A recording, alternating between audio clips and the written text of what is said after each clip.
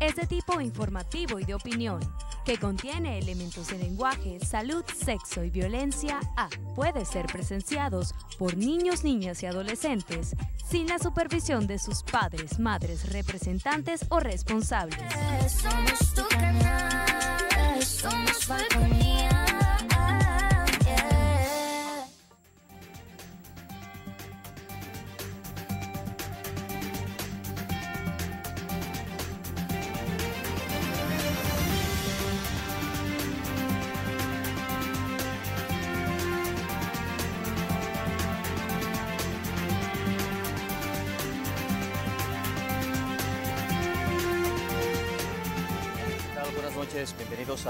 a Punto Fijo de Opinión a través de Falco. Como es un honor estar con ustedes, muchísimas gracias por la atención que cada noche nos dispensan y por supuesto en las sucesivas repeticiones. El invitado para esta noche es el amigo Miguel González, es politólogo.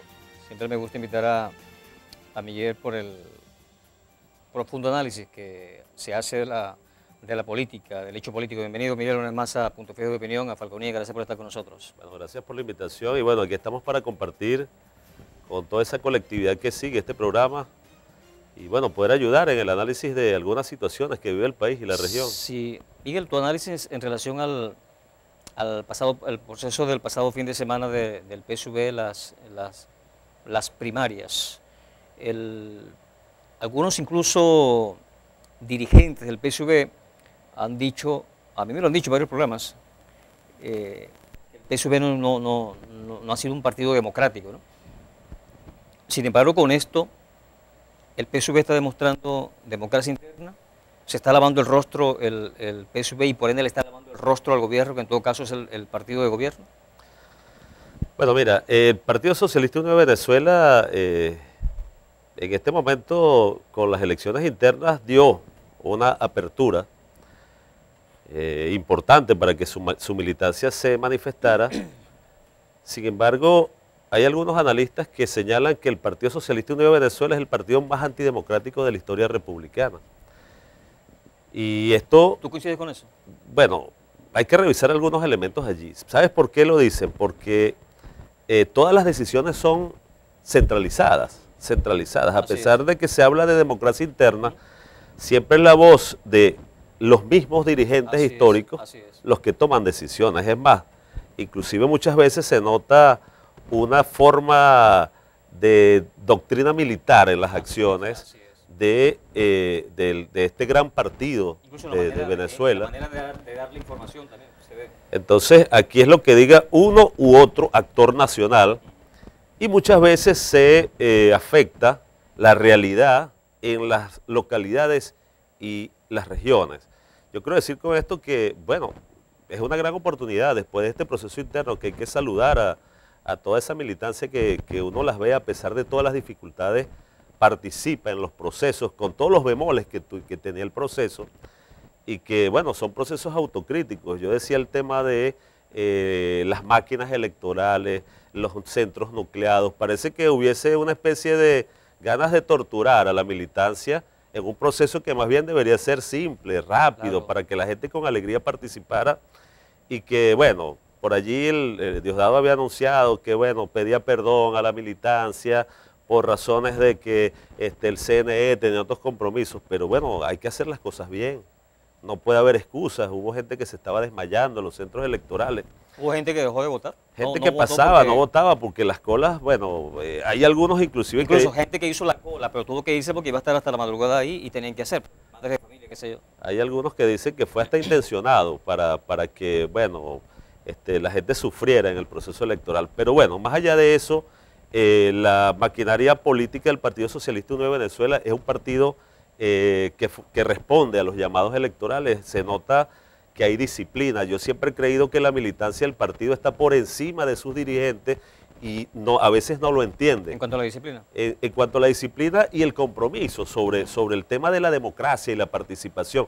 Lo que pasa es que pareciera que hay una desconexión. Por ejemplo, cuando se habla del poder popular, por ejemplo, el poder popular, pero abajo no hay una verdadera disposición. No, y que nunca, nunca ha habido, a- aquí no ha a- existido, aquí no ha a poder transferir popular. el poder al pueblo. Cuando se habla del poder popular muchas veces es solo discurso. Así es. Y más allá de, de- de- de una sistemática, eh, un sistemático avance, avance hacia el protagonismo necesario del pueblo. Entonces, todas esas cosas deben ser parte de una revisión. Yo siempre he dicho que lamentablemente eh, ahí, ahí, este, se ha generado una trama de sumisión y de genuflexión, porque si, si se hace una crítica o una autocrítica que es válida, hasta en los hogares uno hace crítica a sus padres, entonces te tildan, mira, este es escuálio, este es de la oposición, este no, no, ya va, vamos a abrir un debate certero. Los partidos, fíjate, desde hace mucho tiempo, ¿quiénes dominan el partido Socialista Unido de Venezuela? En las regiones el gobernador es el jefe. En las localidades los alcaldes son los jefes. Entonces, los militantes que están allí dependen de alguna manera de algún trabajo en una alcaldía, en una gobernación. Entonces, bueno, todo es amén a lo que se diga y no hay discusiones sobre temas eh, fundamentales, por ejemplo, del control de la gestión de políticas públicas hacia niveles superiores, se debe avanzar en los partidos políticos. Sin embargo, eh, este partido, reitero, es un partido que tiene ya la maquinaria aceitada para el proceso electoral del, 21 de noviembre, un partido que su militancia cree en, una visión distinta y que lamentablemente los sectores de la oposición no tienen agenda política. Y eso le da un plus, una ventaja. Ya los candidatos están preparados, ya hicieron, es como cuando tú vas a un, a un, a un campeonato, ya tú hiciste el primer ejercicio, los demás no están activados y eso va a permitir seguir avanzando hacia la consecución de elementos vitales para eh, las regiones y los municipios, ganar alcaldías y gobernaciones el máximo en el país. Sí, lo que has dicho me, me, centro en dos, dos aspectos. ¿no? Uno, anteriormente Acción Democrática y COPEI, y, sobre todo Acción Democrática en ese sistema de copeyano, el gobernante mm, tal vez era solamente la, la forma, ¿no? pero al menos cuidaba en la forma, pero el gobernante iba por un lado y, había, y el jefe del partido era otro. Hoy en día es distinto con el chavismo, o sea, el alcalde es el jefe en el municipio, el gobernador es el, jefe en el, Estado, el presidente es el jefe en el país, y eso es muy peligroso, porque eso le da demasiado poder a un hombre, y la política de por sí enferma a quien la practica, ¿no? Cuando, entonces si le me dan el poder gubernamental por un lado y me dan el poder del partido por otro lado, imagínate, pueden estar fabricando muchos monstruos allí. Debiera haber una separación entre el poder eh, gubernamental y entre el poder, eh, eh, la, jerarquía del Partido Socialista Unido de Venezuela. Es decir, que el, jefe del partido, del partido en la región, en el Estado, debiera ser una persona distinta al gobernador del Estado. El jefe del partido en el municipio debiera ser una persona distinta al alcalde, porque estamos en una situación bastante precaria en el país. La, gobierno, aparte de eso, el gobierno se ha caracterizado por ser un gobierno yo no diría dadivoso, pero sí con ayudas sociales. Y por ahí se cuela, a través de esas ayudas sociales, se cuela, oye, págame el favorcito con el voto, o te manipulo a través de ese favorcito.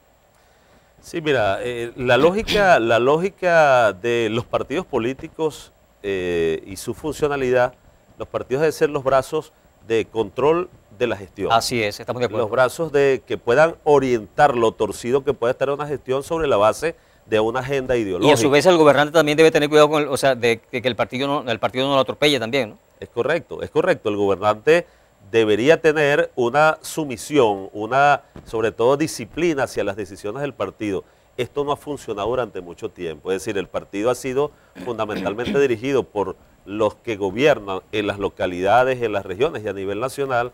La autocrítica casi no se, no se acepta inclusive se violenta el tema del bolivarianismo porque, bueno, el que manda, dijo Bolívar, debe escuchar aunque sean las más duras verdades.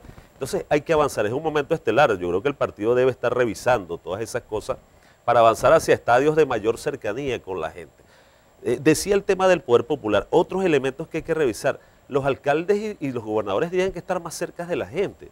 Mira, si yo digo que estamos en una crisis económica, la guerra económica, que muchas veces se ha utilizado como excusa también, el bloqueo, eh, pues ya va, pero hay temas que son de voluntad, de, gerencia política para avanzar junto a las comunidades. Los alcaldes tienen que estar cercanos a la gente, lo hemos dicho, mira, y no es un tema de populismo. ¿Qué es un alcalde?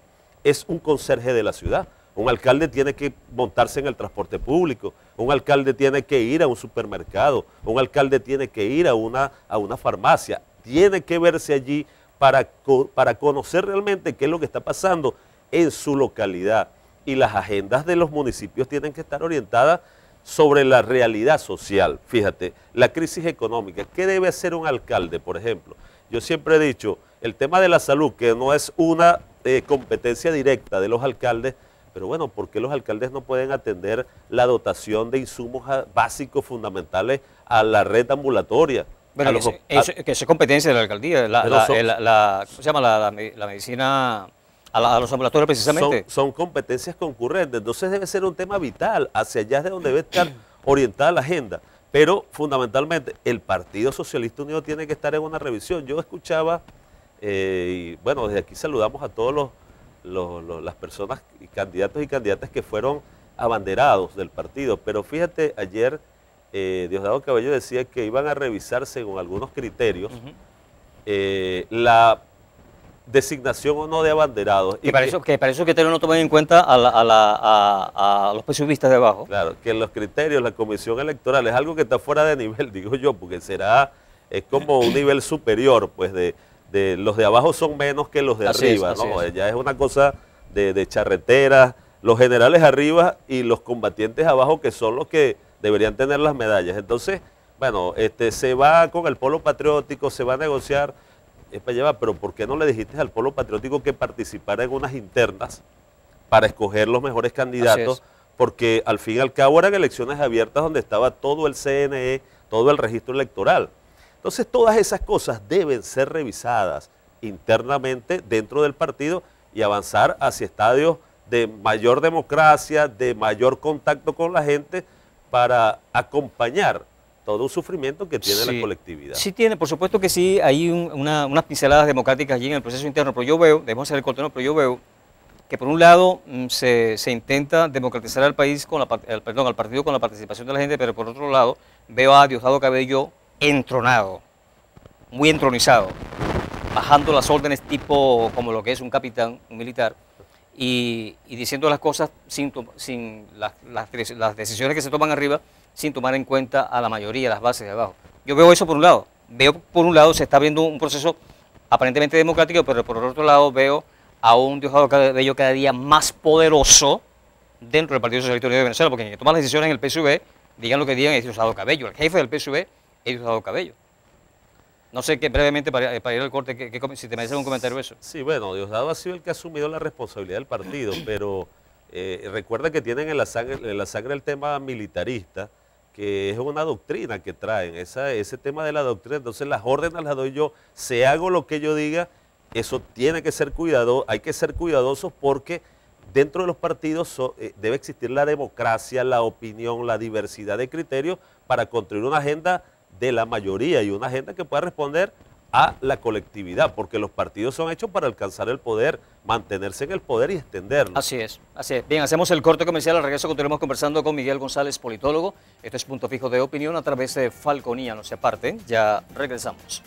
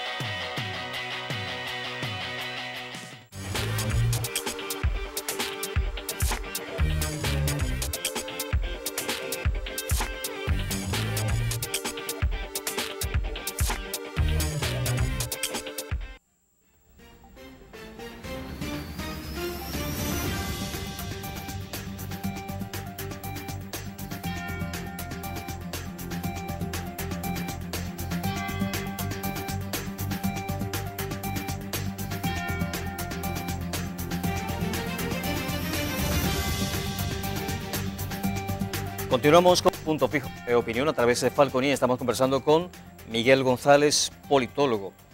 Miguel, el tono de la campaña, y vamos a circunscribirnos al Estado Falcón, o al Estado Falcón, o al municipio de Carrilubana, como tú lo quieras, pero vamos a, a meternos en Falcón. ¿Qué te pareció el tono de la campaña interna del PSV? ¿Estuvo a la altura? Mira, eh, los nuevos tiempos exigen que para construir una candidatura eh, aceptada por la población tiene que ser una, una candidatura respetuosa, con una agenda. Eh, muchas veces eh, la utilización de discursos subidos de tono y de acusaciones lo que hacen es desligarte más de la gente. La gente está cansada, el militante, sobre todo el militante de la revolución, de los ataques quiere propuestas, quiere solventar la cotidianidad, que le cambien el bombillo de su sector, que el militante sienta de sus dirigentes que hay una verdadera, eh, hay un verdadero compromiso. Yo digo que eh, de verdad que hay que aplaudir el comportamiento de la militancia pesubista porque a pesar de todas las dificultades que, se viven diariamente, la gente salió a participar. No de repente en la inmensa cantidad que a veces se quiere generar la participación, pero salieron. Entonces, e- el tono hubo, yo escuché algunos candidatos de, de- que, que, por ejemplo, el candidato Andrés Eloy Méndez fue fustigó muchas veces a, a Víctor Clark y decía, bueno, esa no es la manera, ¿cuál es la agenda? ¿Qué se va a hacer? Por ahí es donde O sea, ¿tú no estás de acuerdo cómo se manejó Andrés Eloy creo en, que en hubo, el creo, discurso? creo que hubo fallas en el discurso, hubo- creo que hubo fallas en, en el proceso de campaña, creo que hubo fallas inclusive en, la, en, la, en, la designa- en el proceso como tal para alcanzar los objetivos. En cambio vimos a, a la candidatura de Víctor un poquito más eh, orientada a, a- a los objetivos propios de la consecución del- del- de la victoria electoral y eso fue lo que privó en el momento de la decisión del voto.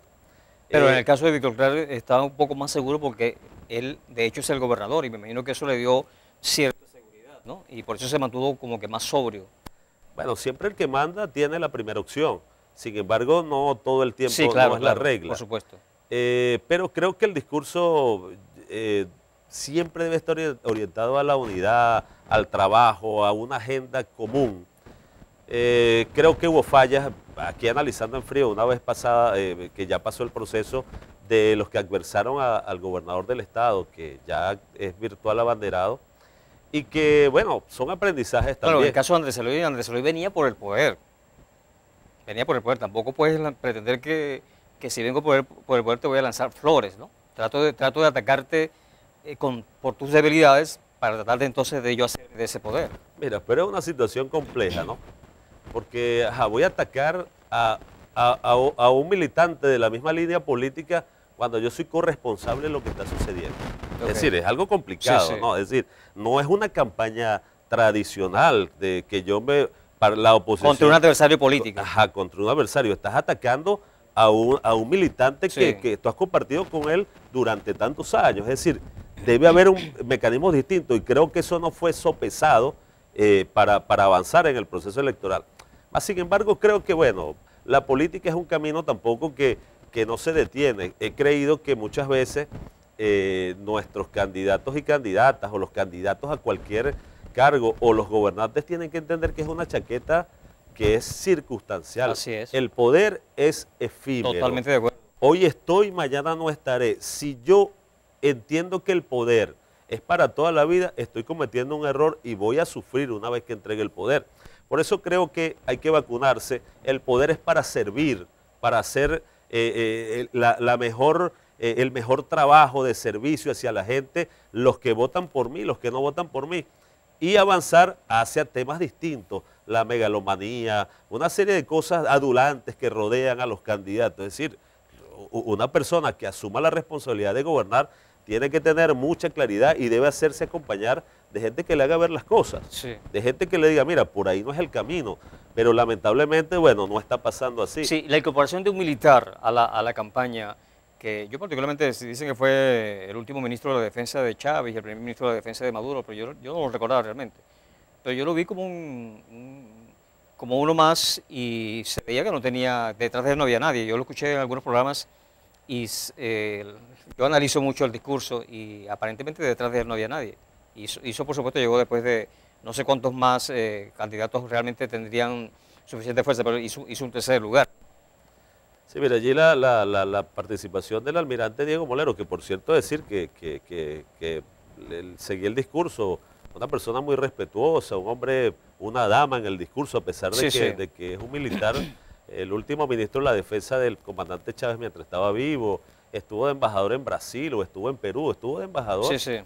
Pero es que en la política hay un ABC como en el béisbol, la organización del voto. Sí, pero tú no puedes llegar como paracaidista tampoco. No, puedes puede- llegar no como puede- paracaidista. No puede, el voto silvestre funcionó en algún momento histórico en Venezuela con algunos candidatos de la causa radical que ganaron alcaldías y, y gobernaciones en su momento, por allá por Bolívar. pero ellos venían trabajando aguas abajo. Venían También. trabajando, pero, pero era más el voto silvestre que, que- que un, voto, un voto, una expresión de malestar social en, en- en localidades Sí, o en sí, regiones sí. determinadas que una organización real del voto. Entonces, en política hay un ABC, en política hay estrategias que deben asumirse y por eso la victoria o, no, o las derrotas de los candidatos y candidatas que aspiran a un cargo Sí, determinado. Quiero aprovechar ahí porque, eh, y me quiero concentrar en el caso de, de Abel Petit, quien es el, ya el, el- el candidato a la alcaldía de Caribana por el PSV.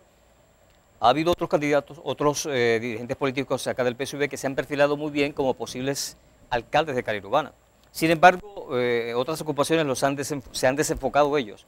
En el caso de Abel Petit, el hombre se, se, se planteó ser alcalde de Carirubana, desde hace tiempo ha venido trabajando en eso, con la gente, o sea, en contacto directo con la gente. Fue el diputado del Consejo Legislativo, pero no se desenfocó de Carirubana. Fue nombrado por Víctor Clark como presidente de Fundefal, eh, autoridad única del deporte en, el Estado, pero no se desenfocó de Carirubana. Se le hizo como que más fácil el trabajo y eso, sin duda alguna, ayudó al, al logro pues, de la candidatura del PSV. Pudiéramos, pudiera, eh, eh, pudiéramos analizar ese aspecto. Mira, saludamos de aquí a Abel Petit, bueno, buen amigo, eh, ahora es el abanderado, el abanderado del PSV.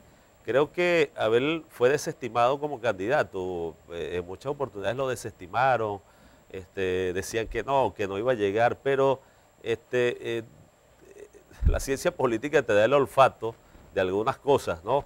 Eh, porque aquí en Venezuela cualquiera es analista político también. Aquí en Venezuela, bueno, bueno, yo soy analista, allá va, pero ¿qué herramientas tienes para hacer el análisis?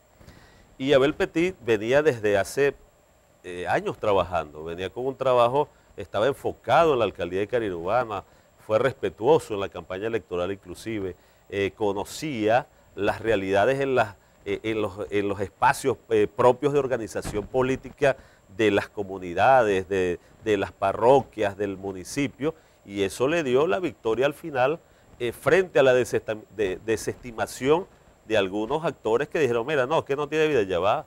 La política se gana con trabajo Así es. y ese trabajo lo hizo el caballero Abel Petit con, eh, con claridad y un trabajo sistemático y ese le otorgó- eso le otorgó la victoria el 8 de agosto. Sí, bien, hacemos el corte comercial. Al regreso continuaremos conversando con Miguel González, politólogo. Esto es Punto Fijo de Opinión a través de Falconía. No se aparten, ya regresamos.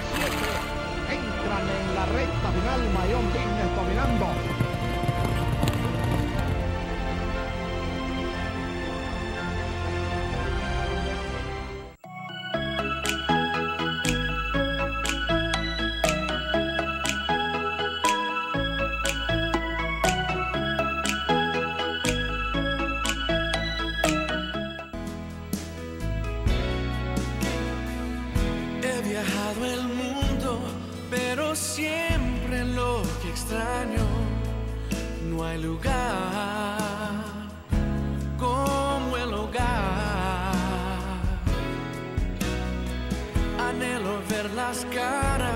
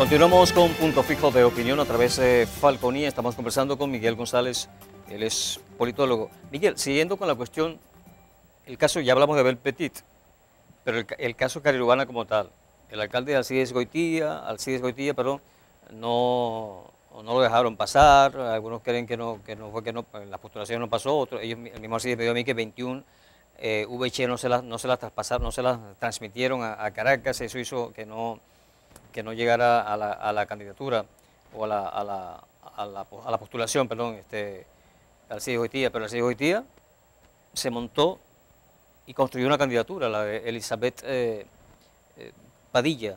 Por otro lado, eh, Andrés Maldonado, quien ha demostrado, yo lo considero un gerente, Andrés Maldonado, este, ha estado últimamente al frente de, de Hidrofalcón, también tuvo la, la, la- la aspiración, el tono en Carirubana. Hablabas muy bien de- de- del discurso respetuoso de Abel, pero ¿cómo viste la campaña en Carirubana? Incluyendo al Goitía, que estaba detrás de Elizabeth Petit, incluyendo a Andrés Maldonado. Mira, eh, eh, haciendo un recuento, el caso de Alcides, bueno, eh, también el poder va desgastando, son 17 años de gestión. Creo que el reglamento no le, eh, no le restaba la posibilidad de participar. Ah, Sin embargo, allí vuelvo otra vez el tema de la Dirección Nacional, que la autocrítica es válida, ¿no? Eh, si, si yo no voy a participar y o tú me haces que me postule, antes de- o si, si me ves en la postulación, Dime que no, dime que no a través de una carta Claro, la no formalidad, mire, este compañero y amigo, usted no va por porque no consideramos, estos son los elementos, pero silencio administrativo allí, político, bueno, es una decisión del de arriba. Es para allá va, pero vamos a darle formalidad. Voy al tema de la castración que hay del nivel central, el nivel central, el ejemplo que Caracas dio, como dice el himno nacional, entonces muchas veces, fíjate tú, desde el punto de vista de la administración pública, de Caracas mandaron a hacer tal cosa, pero ¿quién fue? Un chimpancé, sin ofender a los chimpancés.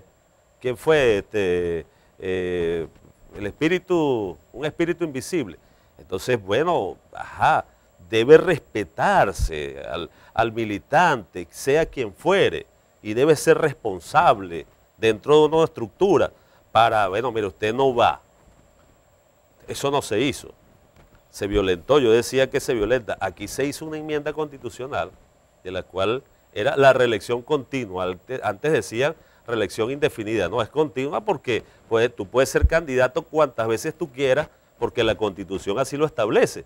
Fue derrotada primero en la propuesta de reforma constitucional y después en la enmienda se logró. Un reglamento tiene que hacerse en base de la constitución. ¿Tú estás de acuerdo con eso? Yo creo que, yo, yo no estoy de acuerdo. Yo creo que porque se enquistan en el Así poder. es, yo creo es. que una persona que tiene que estar cuatro años, ocho años máximo, porque entonces Dos periodos, dos periodos. entiendes que el poder es tuyo, no Sí, quieres, sí. entonces, no, es como las fuentes de agua. Una fuente de agua, si no se oxigena, se llena de lama, el agua se daña, se pone de mal olor. Así debe pasar también en la administración pública, en los cargos de poder, cuatro, ocho años y dar que regrese nuevamente a la masa política para dar oportunidades y que todo el mundo tenga la posibilidad de, de estar en el ejercicio político.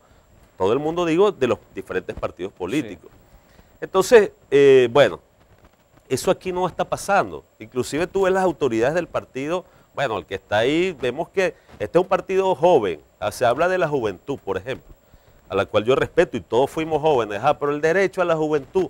Bueno, la juventud tiene que ganarse sus Así- así espacios es, así en las universidades, la juventud combativa que nosotros ¿Tú estás de acuerdo con eso de que, la- que tienen que ser eh, tanto por ciento mujeres, tanto por ciento hombres, tanto por ciento jóvenes? Yo, yo considero, no sé, ¿no? tal vez yo esté errado, eh, pero el liderazgo, como tú dices, cada quien se lo gana. En este espacio, en aquel espacio, de repente hay tres mujeres, las, tres mujeres son lideresas, ok, vamos a respetar eso.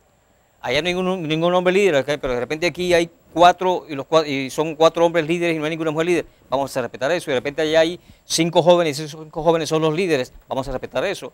Pero no impongamos que tienen que ser hombres o mujeres o jóvenes, porque eh, está como que obligando, ¿no? Y el liderazgo es una cuestión que no se decreta.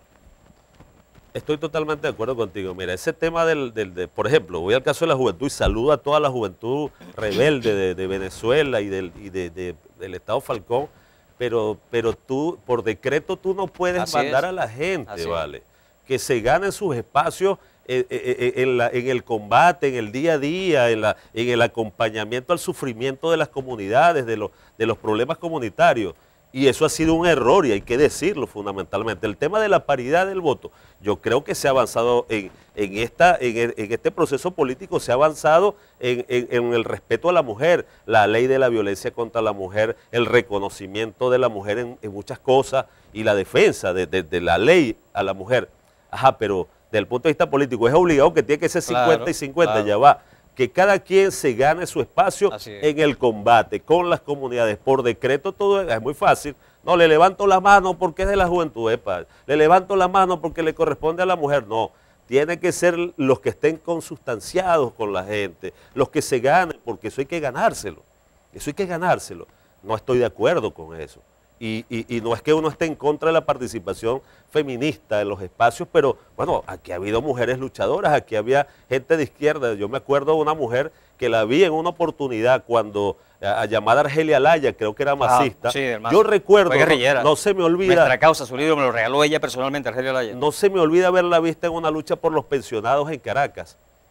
Era una lucha cuando se utilizaba aquella tanqueta que lanzaba agua y la vi como la tanqueta con el agua la tiró y dando vueltas en una protesta en La Caracas. negra Argelia Laya. Entonces dices La tú, bueno, Laya. si son mujeres como Argelia, como Argelia Laya, bienvenidos al combate. Claro. Porque todas las mujeres son aguerridas. Debo decirlo, yo soy hijo de una mujer que la amo y la adoro y reconozco. Las mujeres paren hombres. Los hombres no parimos mujeres. Las mujeres paren hombres. Y eso le da un sitial especial a la mujer. Pero el tema de la paridad, para allá va, que se gane, bueno, las mujeres deben participar activamente en la política, pero en la lucha cotidiana, política, comunitaria, para poder avanzar en los, en los cargos. No, y se pueden ganar los cargos que sean, pero o sea, eh, eh, hay escenarios donde de repente las líderes son, son solo mujeres allí en ese espacio, bueno, eso se respeta, pero si allá son solamente hombres, eso se respeta, y si allá son cuatro hombres y, y cuatro mujeres, eso se debe respetar. Un país no se gobierna por decretos. Así es. Un país se gobierna sobre el respeto a la autonomía política de la dirigencia, sobre la autonomía de la economía, sobre, el- sobre la base de la, de la respuesta económica hacia el beneficio colectivo de los ciudadanos. Una economía que, que, que- que privilegie el interés social, que la producción genere algo para que la sociedad se, eh, se avance en temas sociales. Entonces no podemos gobernar por decreto. La política no se gobierna por decreto. Y vuelvo a repetir que es necesario que se avance hacia temas distintos. No es lo que diga Caracas únicamente, no es lo que diga el partido a nivel nacional. Eh, Vamos a escuchar la voz de la gente, vamos a escuchar la voz de las regiones, que los partidos tengan autonomía, las estructuras en los municipios para decidir sobre políticas públicas, para interpelar a un alcalde, para interpelar a un funcionario de gobierno nacional que venga y, y- y no cumpla con, con- con- con- para lo que fue juramentado en los cargos Incluso que, que últimamente, representa. últimamente han cambiado ese término de, de, de- interpelación.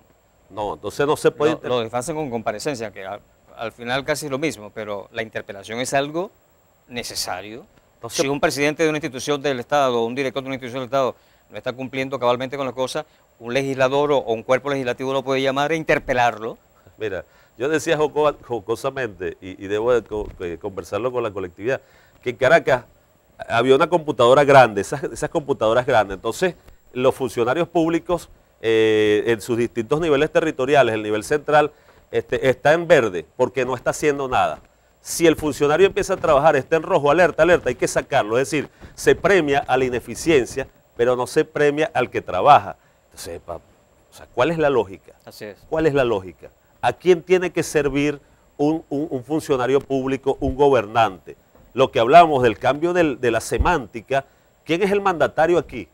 ¿El gobernador o nosotros como ciudadanos? Los que mandamos somos nosotros, Así le es. damos el mandato, Así compañero. es. Y el carro, no, el carro no es del gobernador, el carro no es del alcalde, la alcaldía no es del alcalde, el- el- lo- lo- la policía no es del gobernador. Entonces se ha malinterpretado, entonces que para hacerle firme, firme, ahí viene el gobernador, firme, viene porque eh, esa doctrina, esa doctrina cívico-militar, que respetando también a la, a la- a la Fuerza Armada Nacional Bolivariana, esa doctrina, eh, doctrina cívico-militar se ha convertido en una doctrina cívico-militar y política para solo dar órdenes, más no para escuchar y construir una agenda sobre lo que diga la gente y no lo que diga el que gobierna o el que manda. Así es bien, hacemos el corte comercial al regreso, venimos ya a nuestro último segmento conversando con Miguel González, politólogo. Al regreso quisiera que tocáramos el tema referente a la oposición, eh, llamado G4, G9, G21, no sé cómo, cómo se llamará ahora,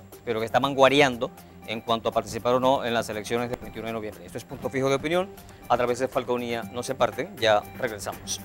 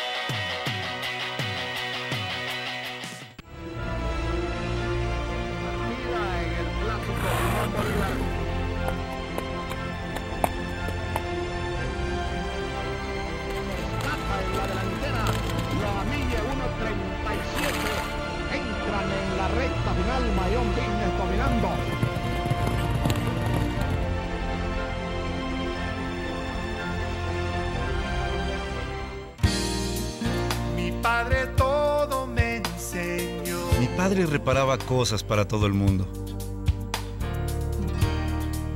Era un ejemplo para mí. ¿Y yo? Bueno, yo solo sostenía la luz.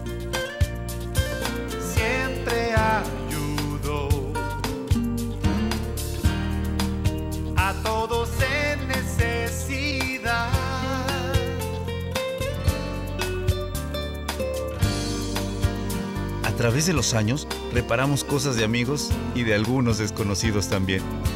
Me estaba enseñando algo más que a reparar cosas.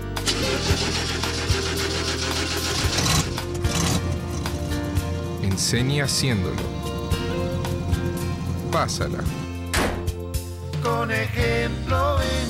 Un mensaje de la Fundación para una vida mejor.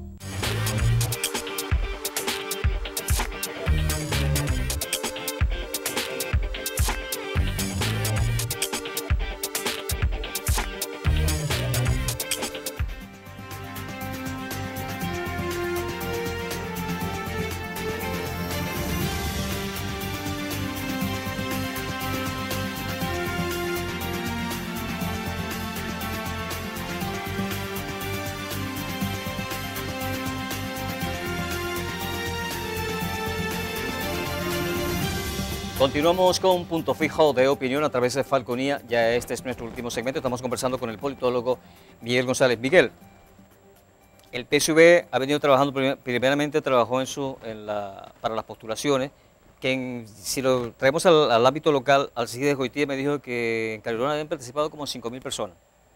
Yo considero que es un número muy, muy reducido, muy pequeño, tomando en cuenta el, el tamaño del cual es el, el Partido Socialista Unido de Venezuela. Pero en todo caso, es vieron en el caso de Carilubana. Eh, ahora para el- las primarias, eh, Diosdado Cabello ha dicho que votaron 3.500.000 personas, y lo cual equivale al 20% del registro electoral permanente. Si hicieron eso para el 21 de noviembre, si ahora participó el 20%, claro, en todo caso tendría que corroborarlo el CNE eso, este, imagino que van a mover más, más de esa cantidad, más del 20% del registro electoral permanente para el lado de- del, del, PSV. Sin embargo, la oposición, claro, está la, la llamada Alianza Democrática, pero que hemos visto que sola no tiene fuerza.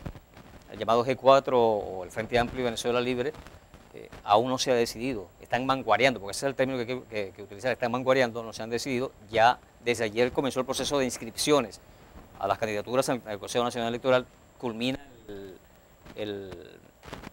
el 29. ¿Qué opinión te merece el, que la oposición aún no haya decidido a estas alturas si participa o no? Aunque aguas abajo, los aspirantes, muchos dirigentes de, de- esas tornas políticas quieren participar, incluso ya son precandidatos. Mira, el tema de la... Aquí siempre se ha planteado en Venezuela, yo, lo, yo recuerdo que, que inclusive el fallecido comandante Chávez decía que es necesaria la necesaria oposición. Una oposición es fundamental para las democracias, fundamental. La oposición ha seguido un camino extraño, un camino de la abstención.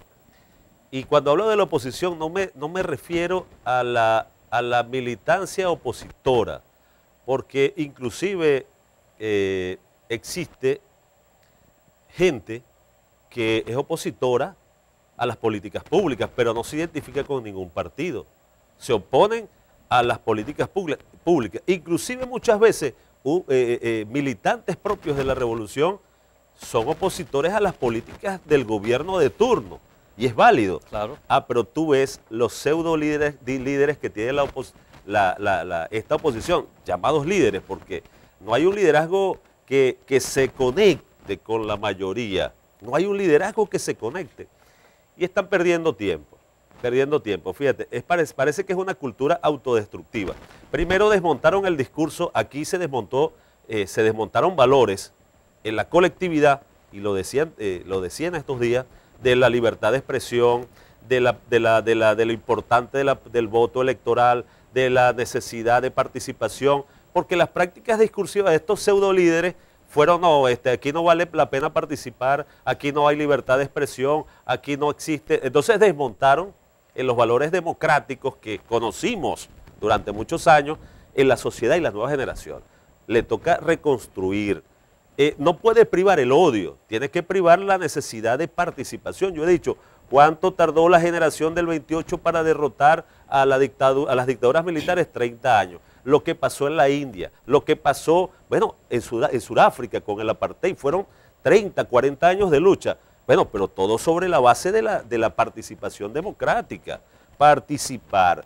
Tanto va el cántaro al agua hasta que se revienta el cántaro. Pero ahora, no, no vamos, sí vamos, no vamos, que, que, que no nos interesa, que, que, que- el CNE nos va a robar las elecciones. Entonces, confundes al electorado opositor y eso, bueno, los está limitando. Mientras- lo desmoviliza. están desmovilizados. Mientras tanto, el Partido Socialista Unido de Venezuela, bueno, es importante participar, Claro. a pesar de que tortura su militancia. Así es. Digo yo, tortura, lo digo de manera jocosa también, ¿no? Porque, bueno, lo torturan este, para, para ir a votar. Se torturan para que le den una bolsa del CLAP, porque, bueno, salga corriendo a las 12 de la noche para que deposite, porque mañana es que van a... Sí. Eh, lo torturan si Sí, va a un proceso de vacunación, lo torturan si va a una actividad política en Caracas porque lo mandan, o en cualquier parte lo mandan ahí a, la- a las 7 de la mañana y los líderes llegan a las 9 de la noche. Entonces hay una cultura de la tortura, valga la, la jocosidad para los que dirigen, ¿verdad? En este caso, a la militancia de la revolución. Entonces, eh, esta tortura eh, debe cambiar. Y lo que decía de la tortura entonces, de los, de los pseudo líderes de opositores a su militancia. Entonces, si hay alguien que participó en la izquierda, fíjate tú lo que hicieron con Henry Falcón en Lara, por ejemplo. Henry Falcón, ese es un chavista, ese no sirve, ese es un desgraduado. Henry Falcón es candidato en Lara. Y Henry Falcón perdió las elecciones con Carmen Meléndez, que ahora ganó la postulación a la alcaldía de Caracas. Cosa que no entiendo. La sacan, la sacan de la gobernación Ajá. que el pueblo eligió, el pueblo de la, Bueno. la- la eligió. se la llevan de allí, pero Carmen Meléndez jamás podía derrotar a Henry Falcón. Claro. Bueno, llegó el G4, eso que llaman el G4, como si fuera una cosa tipo Massinger Z, una cosa de, de, las, de, los cómics, ¿no? Se me cayó la cédula, ¿no? Massinger Z, el Vengador. Este, no, el G4 ya va, el G4 cuatro pelagatos. Entonces toman decisiones sobre la base del interés nacional, el país quiere respuestas efectivas, quiere participar y ellos en esa pelea de, de cuatro gatos sin poder avanzar en temas fundamentales. Es necesario que los sectores de la oposición puedan entender la necesidad de participación, que prive la... Ah, bueno, van el, el tema autodestructivo. Fíjate ya en Táchira, la gobernadora Lady Gómez, ahora llega Ceballos y no, hay unas elecciones primarias. Mira, no les da chance a los sectores de la oposición de ir a unas elecciones primarias. Deben, voy a aprovechar de darles una asesoría por esta vía, ¿no? Deben entender que existen liderazgos en las regiones y en las localidades que tienen aceptación, eh, que están en la sociedad civil, que están en las universidades, que están por allí, que son aceptados en la colectividad y que pueden ser virtuales candidatos para un proceso electoral que está allí a la vuelta de la esquina. En un abrir y cerrar de ojos, ya hay elecciones a gobernaciones y alcaldías. Y bueno, si están en la, en la tónica de un referéndum revocatorio para el presidente Nicolás Que, Maduro, lo, que muchos lo están despreciando, ¿viste? Yo, yo noto un silencio cómplice en algunos Bueno, eh, eh, ves- en la oposición porque piden elecciones presidenciales o elecciones generales. Sabemos que y Maduro está en su en su potestad de, de, de no dejársela arrebatar. Pero tiene, le, constitucionalmente tienen el referéndum revocatorio para el próximo año. Ahí lo tienen. Mira, y tienen que reconocer que hay una realidad. Nicolás Maduro es el presidente, ¿vale? Va- ganen las elecciones y eso sirve para conectarse con un llamado a un revocatorio para Nicolás Maduro. Bueno, hay presidentes que no aguantan un revocatorio, Claro. jueguensela, pero Así a es. través de la vía pacifista, el, eh, eh, eh, el efecto Gandhi, el efecto Mahatma Gandhi, la política a través de la protesta pacífica. Porque, ¿qué dejaron todos esos mecanismos de violencia en el país? La violencia es un efecto, establece un efecto contrario. Y además, Henry, quiero decirte que la gente quiere participar. Los venezolanos quieren votar, pero pónganse de acuerdo porque si no vienen, pónganse las alpargatas para, para que bailen joropo, porque el Partido Socialista Unido de Venezuela hizo su calistenia para ganar todas las gobernaciones y todas las alcaldías del país. Bueno, la gente está esperando por la oposición. Sí. Salgan a participar y bueno, y déjense de esas culturas autodestructivas, porque pareciera, como dicen algunos por ahí, que están en conchupancia con el gobierno, le hace el juego. Mira, el gobierno no ha tenido una mejor oposición en la historia que esta oposición de Guaidó y su gente. La peor oposición.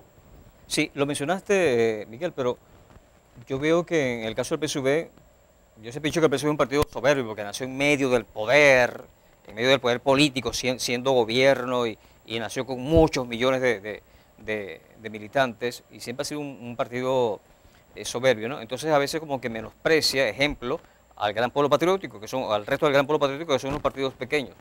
Se les olvida que después de la muerte del presidente Chávez, Nicolás Maduro gana la elección con los votos del gran pueblo patriótico, del resto del gran pueblo patriótico, porque la tarjeta de la MUT le ganó la tarjeta del PSV y Maduro gana por esos partidos pequeños del gran pueblo patriótico. Entonces a veces como que los menosprecian y ellos también están como que muy silentes. El gran pueblo patriótico no dice nada, o sea, que decide el PSV en todo caso, sabemos que no tienen la fuerza política que tiene el PSV, el la fuerza electoral que tiene el PSV, pero tienen moral política algunos de ellos, pueden exigir sus espacios. Mira, yo creo que eh, aquí pasó algo que mucha gente tal vez no lo recuerda, hay un problema de memoria cortoplacista, ¿no? Aquí cuando se perdió la reforma constitucional, cuando se perdió la reforma, eh, Chávez había dicho, le voy a regalar a Podemos el volvaguito que me regaló mi compadre Baduel, y después que se perdió la reforma por una pírrica victoria de la oposición, fue lo que dijo el comandante Chávez, dijo eh, Chávez en una reunión que se hizo en Caracas, en, en el primer congreso fundacional del Partido So- Socialista Unido de Venezuela, dijo, bueno, pero es que era jugando, ustedes no me entendieron, no era que el Volkswagen, entonces la gente de Podemos se me fue. En este momento, la revolución necesita del PCB, por cierto, que el PCB está enfrentado al PSV. Así es. Entonces no, se no acepta críticas entonces. No, que ahora no sirve, este, ahora No son no son revolucionarios. revolucionarios, pues ya va, pero hay una historia, Claro. hay una historia, hay un compromiso. Ahí radica la no aceptación de la crítica, porque todo lo que me digas contra lo que, lo que yo creo es malo. Seamos más amplios en la aceptación de la crítica, sean más amplios para avanzar y necesitan al pueblo patriótico en este proceso Así es. electoral. Eh, Miguel, estamos llegando al final de- del programa. ¿Con qué quieres cerrar el punto fijo de opinión de esta noche? Mira, creo que este, el ciudadano está esperando que sus liderazgos eh, hay una negociación en, México a puertas, por fin, que, que vuelva la lógica. El, el pueblo necesita, la ciudadanía necesita que, que sus líderes, si se pueden llamar líderes, respondan efectivamente al dolor social, porque se anexa la crisis económica y además el tema de la pandemia. Ya es el momento de que reconstruyan el país. Tal vez desde aquí nadie escucha esto, pero escuchen la voz del pueblo, porque yo creo, Henry, que al final el país le va a pasar por encima a todo este liderazgo si no Así se es. pone a tono con la realidad. Estoy plenamente lo, seguro. Lo vengo diciendo hace rato, el país le va a pasar por encima tanto al gobierno como una planadora, tanto al gobierno como a la oposición. Estoy plenamente seguro y confío en, en- en- en la sociedad nacional que más allá de los colores políticos, todo el compromiso que ha demostrado de, de- de resistencia va a pasarle por encima a este liderazgo y los va a aplanar, va a ser catastrófico, Así es. tanto al gobierno como a la oposición, si no se entiende la necesidad de responder a tantas necesidades que tiene la población. Así bien, gracias a Miguel González, politólogo. A ustedes muchísimas gracias por la atención dispensada. La invitación es cordial para mañana, cuando desde las 10 hasta las 11 de la noche estaremos con otro punto fijo de opinión a través de Falconía. Buenas noches, un abrazo, hasta mañana y Dios les bendiga.